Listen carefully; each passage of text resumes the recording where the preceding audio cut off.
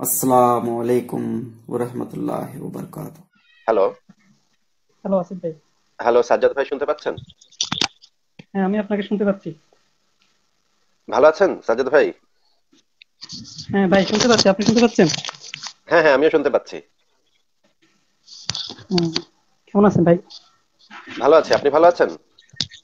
হ্যাঁ ভালো আছি। আপনার সাথে এমনি যুক্ত হওয়ার কিছু প্রশ্ন নিয়ে আলোচনা করার জন্য। হ্যাঁ অবশ্যই বলেন। আমার প্রথম প্রশ্নটা হচ্ছে যে কি ধরুন না আমরা মুমিদের সাথে ধরেন তর্ক বিতর্ক একটু করি মাঝে মধ্যে তর্ক বিতর্ক আলোচনা হয়। এখন তারা যখন যখন একদম খাদের কিনারায় চলে যায় তখন তারা কিছু জিনিস অস্বীকার করে। যেমন একটা জিনিস হচ্ছে যে কি তারা প্রথম প্রথম প্রথম অস্বীকার করে হাদিস। তারপরে তৃতীয়ত তারা শেষ পর্যন্ত গিয়ে অনুবাদ পর্যন্ত অস্বীকার করে। তো এখন যখন অস্বীকার করে তখন আমরা কীভাবে তাদের সাথে আর তর্ক করি? অস্বীকার করার পরে আসলে তারা আহ, আমার ধারণা যে তারা পরাজয় স্বীকার করেই নিচ্ছে। অস্বীকার করার মানে হচ্ছে যে তারা পরাজয় স্বীকার করেই নিচ্ছে। সুতরাং এর চেয়ে বেশি আমরা আর আলোচনা করতে পারি না। তারপর তাদের আরেকটা টেন্ডেন্সি আছে তারা যখন তিন চারজন একসাথে আসবে তখন একটা কনসেপ্টের তিনজন তিন রকম দিক থেকে তিন রকম ব্যাখ্যা দিবে। তখন আমাকে যে কোনো একটা ব্যাখ্যা হ্যাঁ তিন ব্যাখ্যা দিবে। তখন আপনি ধরো আপনার লাইভে আমি দেখছি যখন তিন তিন রকম মানুষ আসে যেমন কেউ আসে এই যে কট্টর মানে কি সুন্নি কেউ আসে ওহাবি হাবি কেউ আসে লা মাজাবি কেউ আসে আহলে হাদিস কেউ আসে মাধবী তখন এক একজনের ব্যাখ্যা এক এক রকম। আপনি যখন এক একদিন যখন ব্যাখ্যাটা দেন, আমাদের কাছে মনে হয় যে, আজকে ব্যাখ্যাটা একজন আসে দিতেছে এরকম, অন্যজন আসে দিতেছে ওইরকম। অর্থাৎ তারা নিজেরাই নিজেদেরকে ভুল প্রমাণ করতেছে। তো এখন আমরা আর কি ভুল প্রমাণ করব জিনিসটা ঠিক বলেছেন আপনার সাথে আমি একমত। এই যে হ্যাঁ হ্যাঁ বলেন। হ্যাঁ কেউ বলতেছে যে নাস্তিকদেরকে হত্যা করা হালাল যেমন এই ফরজ সরি শিবির যারা আছে বা যারা ওয়াজিব। মাওদুদি পন্থী আছে যে হ্যাঁ। কট্টর তারা জিহাদের সমর্থন করে তারা কট্টর পন্থী করে। যেমন কিছু আছে হানাফি মাযহাব আবার কিছু আবার এদের সবাইকে বাদ দিয়ে এখন কিছু নতুন উৎপত্তি হয়েছে। তারা হচ্ছে যে কি লা মাজাবি মানে তারা আহলে হাদিস তারা আর কোনো মাযহাব মানে না তারা হচ্ছে জাকির পার্টি। তো তারা আছে এই কোরআনের কিছু ভুল অনুবাদ নিয়ে কিছু বিকৃতি নিয়ে কিছু শব্দ ডিকশনারিতে ধরেন দশ রকম আছে তারা তাদের সুবিধা মতো একটা নিল। ভালো ভালো তফসির কারকরা তাদের কাছে ফের। কিছু ব্যাপারটা আরও বেশি হাস্যকর লাগে যখন একজন যদু মধু কদু আসি ইউসুফ আলী পিত্থল মাউদুদির মতো বড় বড় তাফসির কারক অনুবাদ কারকের অনুবাদ আসি বা ব্যাখ্যা আসি ভুল বলে। তখন আমাদের হ্যাঁ। হাসি আসে যদু হ্যাঁ খুবই হাস্যকর লাগে। হ্যাঁ। ইসলামের ইতিহাসে এই যে এই অনুবাদকরা বা এই তফসির কারকরা এত প্রখ্যাত তফসির কারক বিভিন্ন বিশ্ববিদ্যালয়ে এই সমস্ত তফসির পড়ানো হয়। সেখানে কোনখানকার কোন মানে মসজিদের চিপার এক এক হুজুর এসে বলতেছে সেগুলো সব ভুয়া অনুবাদ। মানে এগুলো আরেকটা করবেন আর একটু সুবিধার একটা জিনিস হচ্ছে তারা শুধু এটা আমাদের সাথে তর্কের বেলায় এগুলা বাতিল করে। হ্যাঁ হ্যাঁ। কিন্তু তারা কেউ হ্যাঁ। সাহস করে গিয়ে ওইগুলার বিরুদ্ধে কোনো চ্যালেঞ্জ দেয় না। যেমন কিছু কিছু মানুষ ইসলাম ইসলাম ফাউন্ডেশন হ্যাঁ চ্যালেঞ্জ দেয় না। কিছু কিছু মানুষ ইসলামী ফাউন্ডেশন হাদিস মানে না মানে না। তারা বলে আরবি পড়তে হবে এরা ভুল অনুবাদ করে। কিন্তু তুমি গিয়ে কেন ইসলামী ফাউন্ডেশনে গিয়ে এগুলো চ্যালেঞ্জ করো না? তাহলে তো আমরা হ্যাঁ। বিভ্রান্ত হই না নাস্তিক পৃথিবীর সব মানে পুরা সৌদি আরবের মানুষও কি তাহলে আরবি বোঝে না? সৌদি আরবের আরবিতেও তো একই জিনিস লেখা আছে। সৌদি আরবের বিভিন্ন সরকারি যে ওয়েবসাইট সেই ওয়েবসাইট গুলোতে একই কথা লেখা আছে। সৌদি আরবের মানুষও আরবি বোঝে না এই বেটা হচ্ছে গিয়ে কোন চিপার কোন মসজিদের মোল্লা সে আরবি বুঝে গেছে। এর চেয়ে হাস্যকর তো আর কিছু হতে পারে না। আসলে এগুলা তাদের মানে দুর্বলতাই প্রকাশ করে তারা। বিভিন্ন সময় এসে তারা নিজেদের পরাজয়ের যে ব্যথা বা মানে দুঃখ ধরা খেয়ে যাওয়ার যে দুঃখ সেগুলোই আসলে প্রকাশ করে যায়। এগুলো আমরা তো বুঝি। যেমন ধরেন যেমন ধরেন এই যে হাদিসটা যে সূর্য আ- আরশের নিচে গিয়ে ঘুমায় তারপর এবাদত করে তারপর আবার সকালবেলা ওঠে। একজন এসে বলতেছে এটার ব্যাখ্যা হচ্ছে গিয়ে মেরাজ মানে আল্লাহর আরশ হচ্ছে গিয়ে মহাবিশ্বের চারিদিকে এই কারণে রাত্রেবেলা ওই আরশের তলায় গিয়ে ঘুমায়। এটা হচ্ছে সে এক ধরনের ব্যাখ্যা দিচ্ছে। আবার আরেকজন এসে ব্যাখ্যা দিচ্ছে, এটা নাকি মানে সাহিত্য করে বলা হয়েছে, সাহিত্যিক কথা বলা হয়েছে। সাহিত্যিক হজরত মোহাম্মদ এত সাহিত্য করতে যাবে কেন? তাকে একটা জিনিস জিজ্ঞেস করছে, সে উত্তর দিবে। না পারলে বলবে নাই। মানে সাহিত্য করে আবার কেন বলতে যাবে? আল্লাহ সূর্য আরশের নিচে গিয়ে ঘুমায়। এবং সাহিত্য, এই ধরনের সাহিত্য করাও তো ইসলামে নিষেধ। এই ধরনের যে বানানো মন গড়া কথাবার্তা বলাও তো আল্লাহ নিষেধ করে দিয়েছে বিভিন্ন জায়গায়।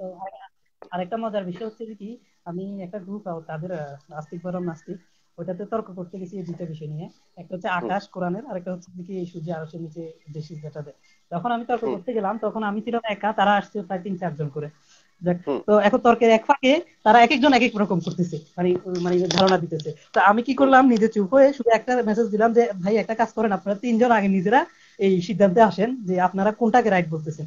তো তারপরে দেখলাম যে প্রায় পুরো তিন ঘণ্টা চার ঘণ্টা তারা নিজেরা নিজেরাই তর্ক করে শেষ পর্যন্ত তারা নিজেরা নিজেরাই ঠিক করতে পারে নাই যে আসলে আসলে নিজেরাই মানে একজনকে আরেকজন ভুল বলতেছে। অর্থাৎ তারা নিজেরাই সমাধানে আসতে পারতেছে না এটা কি?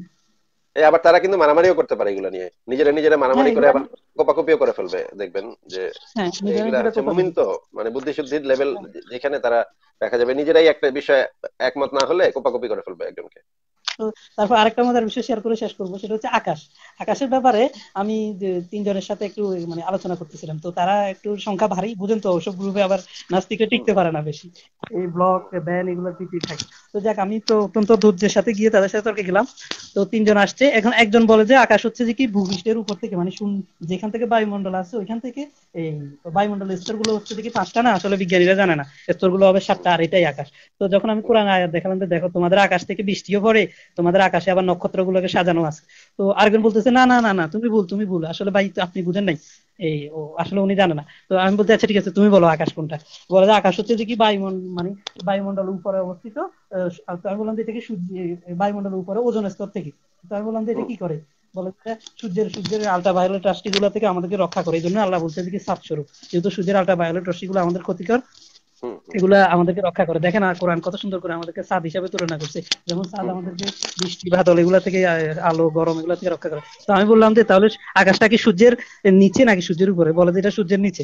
তো আমি বললাম যে তাহলে আল্লাহ তো বলতেছে যে আকাশ হচ্ছে কি একটা মানে এই আকাশে নক্ষত্র সাজানো আছে। আকাশ থেকে বৃষ্টি বর্ষণ হয় তারপর আকাশে কোনো খুঁটি নেই। তারপর আবার আকাশে ফাটল সৃষ্টি হতে পারে। তো ফাটল সৃষ্টি হতে হওয়ার অর্থ মানে কি? এটা একটা কঠিন পদার্থ এটা একটা এই ফাটল হতে পারে। তো আরেকটা আরেক জায়গায় বলা আছে আকাশে সিঁড়ি লাগানো যেতে পারে। তো সিঁড়ি কি কোনো বায়ুমণ্ডলের উপরে? সিঁড়ি স্থাপন করা যায়? সিঁড়ি স্থাপন করতে হলে তো কিছু শক্ত কিছু লাগে। তো তারপর আকাশ ভেঙে পড়া সম্ভব টুকরো টুকরো হয়ে। তো কোনো হুম। বায়ুমণ্ডলের স্তর কি আকাশ ওজনের স্তর কি টুকরো টুকরো হয়ে ভেঙে পৃথিবী অংশ করতে পারে? তো না এবার গেল উল্টে। বলে যে না না না এটাও না। আরেকজন আসে বলতেছে এটাও না। তো তাহলে কি?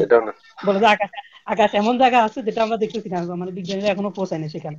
তাহলে আমি যে তাহলে না পৌঁছাইলে আমরা তো সুন্দর মতো দেখতে পাই এক কিলো মানে মেঘগুলো আমাদের থেকে এক কিলোমিটার উপরেও না ওইখান থেকে আকাশ মানে বৃষ্টি করে। তো সুরানের হুম। বাকারা দুই জায়গা দুই জায়গা আছে যে কি এই অর্থাৎ আকাশ থেকে বৃষ্টি বর্ষণ করে আল্লাহ। তো তাহলে এত দূর থেকে তো বৃষ্টি বর্ষণ হয় না বৃষ্টি বর্ষণ হয় আমাদের বেশি থেকে বেশি এক কিলোমিটার আটশো আটশো মিটার বা থেকে কিলোমিটার উপর থেকে। তো তাহলে আপনি কীভাবে বলবেন যে আকাশ অনেক অনেক কোটি কোটি মাইল দূরে? তো এবার তারা কি করল? নিজেরা নিজেরা মারপিট শুরু হয়ে গেলো। যে একজন এক একটা বলে আকাশ একজন এক একটা বলে। মানে আকাশটা নিয়ে তারা একটা সিদ্ধান্তে পৌঁছাতে পারে পারেনি একদিন। এখন আমি কি তর্ক করব তাদের সাথে? তারা নিজেরাই তো এখনও সিদ্ধান্তে আসেনি। কি বলবেন আর এদেরকে আর কি বলবেন? কিন্তু মানে সবচেয়ে গুরুত্বপূর্ণ ব্যাপার হচ্ছে এই সমস্ত লোকদের একদম বিজ্ঞান সম্পর্কে একদম বেসিক কোনো আইডিয়া নাই। তারা হয়তো কোনো একটা কিছু পড়ে এবং পড়তে গিয়ে খোঁজে যে কোরআনের সাথে কোন জিনিসটা মেলে এখানে কোন জিনিসটা মিলবে। যে যে জিনিসটা আচ্ছা মিলবে সেই তারা আমার একটা প্রশ্ন আপনার কাছে জানার জন্য। সেটা হ্যাঁ হচ্ছে হ্যাঁ যে কি বিগ ব্যাং এর শুরুতে সিঙ্গুলারিটি আকারে সময় তারপরে শক্তি মানে যে- যেটা বল পাওয়ার আর স্থান একসাথে মিশে ছিল তো স্থান শক্তি বল যেহেতু একসাথে সিঙ্গুলারিটি আকারে ছিল তো ওটারে কি আমরা শূন্য বলতে পারি? না ওটাকে আদিভাবে আদি অনন্তকাল ওইভাবে ছিল বলতে পারি। এখানে অ্যাবসলিউট জিরো বলতে আসলে কি বোঝায়? সেই জিনিসটা নিয়ে অনেক জটিলতা আছে। অ্যাবসলিউট জিরো বলতে আসলে কিছু কিছুর অস্তিত্ব নাই। কিছু না কিছু সেখানে থাকি। কিছু না কিছু সেখানে সবসময় থাকে এবং সেই জিনিসটাকে আপনি একদম অ্যাবসলিউট জিরো বলতে পারেন না। শূন্য বলতে পারেন কিন্তু অ্যাবসলিউট জিরো বলতে পারেন না, মানে আমরা যদি সময়টাকে নাও ধরি, কারণ আপনার কোনো কিছু স্থিতিশীল, কোনো কিছু কিছুর বেলায় সময়টা আসলে কাজ করে না। যদি কিছুটা স্থিতিশীল হয় কোনো কিছু কারণ পরম স্থিতি বলতে তো এখন বর্তমানে কিছু নাই, এরকম কিছু যদি সৃষ্টি করা যায়, তাহলে তো সময় থেমে যাবে। মানে সময়কে থামিয়ে দেওয়া সম্ভব যদি পরম স্থিতি জাতীয় কিছু একটা তৈরি করা যায়। তো তখন তো পরম স্থিতি জাতীয় কিছু একটা ছিল, সময়টা মনে করেন যে যাক সময়টা থেমেছিল। কিন্তু বস্তু যে স্থান আর শক্তি, এগুলা তো আপনার থেমেছে মানে ছিল তখন। পরম শূন্য বলতে কিছু ছিল না। এখন আমরা কি বলতে পারি না যে শক্তি এবং শক্তি এবং স্থানটা আদি থেকে অনন্ত। আর যদি আপনি শক্তিটাকে নাও ধরেন কিন্তু স্থান ছাড়া তো কিছু কল্পনাই করা যায় না। যে স্থান ছিল না তাহলে শূন্যটা ছিল কোথায়? শূন্য স্থানটাও কিন্তু একটা স্থান। এইটাকে আমরা হ্যাঁ। ধরতে পারি না? না শূন্য বলতে আমরা যেটা বুঝাই যে ধরেন ভ্যাকুয়াম ভ্যাকুয়ামের ভিতরে বাতাস থাকে না কিন্তু সেই হ্যাঁ জায়গাটাকে আমরা অ্যাবসলিউট শূন্য বলতে পারি না। সেখানে স্পেস আছে এবং সেখানে টাইম পাস হচ্ছে। হ্যালো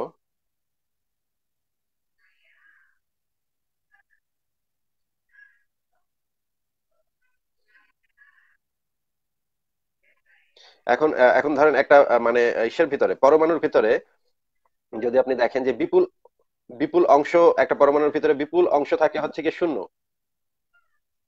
হ্যাঁ একটা পরমাণুর ভিতরে বিপুল অংশ হচ্ছে শূন্য, কিছুই না।